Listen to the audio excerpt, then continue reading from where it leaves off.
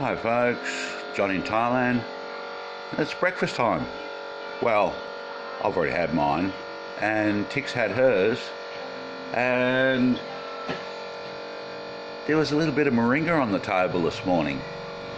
It's apparently something which Thai people eat on a regular basis when the seed pods are on the tree, and she picked some. I mean, you know, Chick, my wife, picked some yesterday and cooked it up.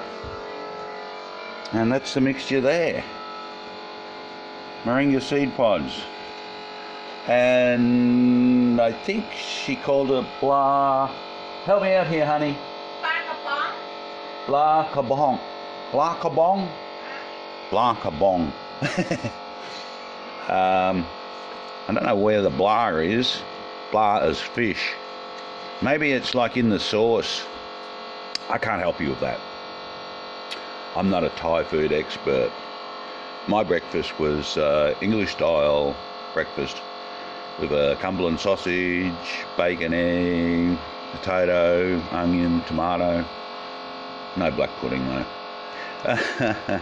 so that's just a breakfast thing. I'll uh, I'll leave you with it now because I've got to go and do some work. Bye now.